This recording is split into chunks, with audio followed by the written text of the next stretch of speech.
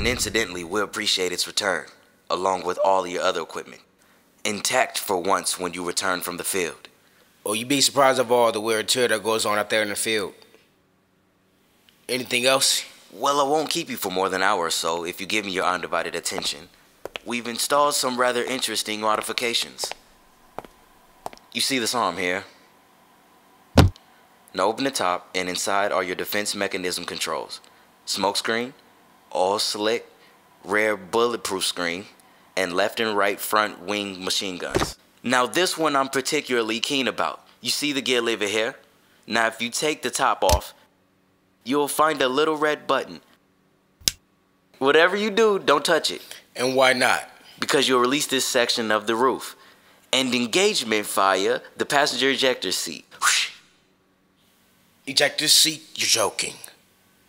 I never joke about my work, 007.